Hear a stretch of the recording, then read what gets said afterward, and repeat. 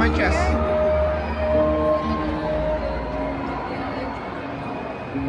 Y luego después de solo viene bajón otra vez. Empieza a destruir todo.